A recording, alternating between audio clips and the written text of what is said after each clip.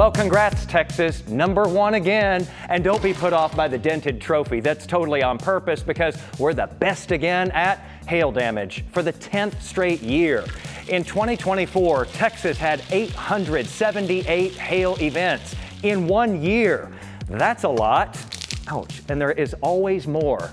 Once again, no one even came close to Texas. You know what? Actually, one small town east of Texas did, kind of. They experienced multiple hail events there every day.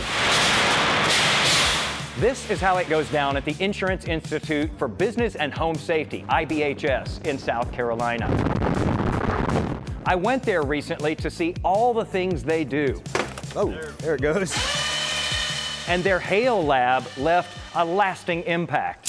That is kind of its specialty. Once we get the hail cannons in the large chamber installed and, and tested, we can do 10,000 hailstones in 20 minutes. The scientists there created custom machines to make hailstones.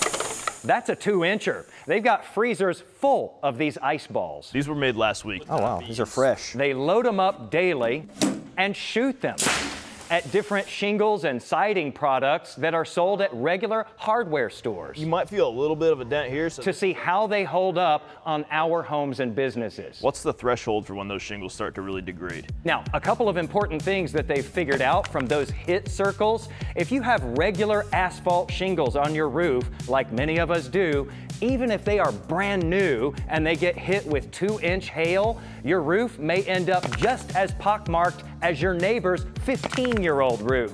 But you are way more protected if you have impact resistant shingles.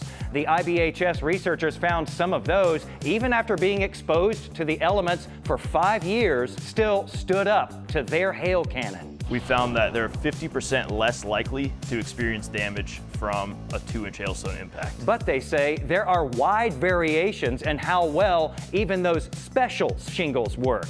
One of them did pretty badly, After impacting it with two inch hail, you could see through the shingle. and that is why they test them and publish the results. Isn't that kind of the only way that we would know a difference as a consumer? Right, there's no other way to identify a difference between these products. I am linking to those results today. They'll be putting out new ratings for different brands later this year, too. Now, those hardier shingles may be something to consider considering this. You guys can see five inch hail every 50 years. Mm. Anywhere in Dallas. Mm. That is massive. That's the kind of hail that's going to possibly go through your roof. Yeah. right? But every year you have a high probability of experiencing two inch, maybe even above um, two inch hailstones, right? Every single year.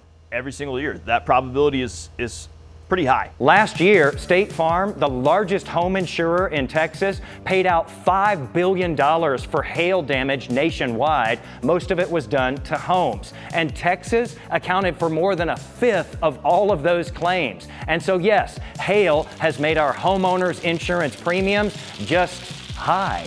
State Farm and other insurers offer discounts if you replace your roof with those impact resistant shingles.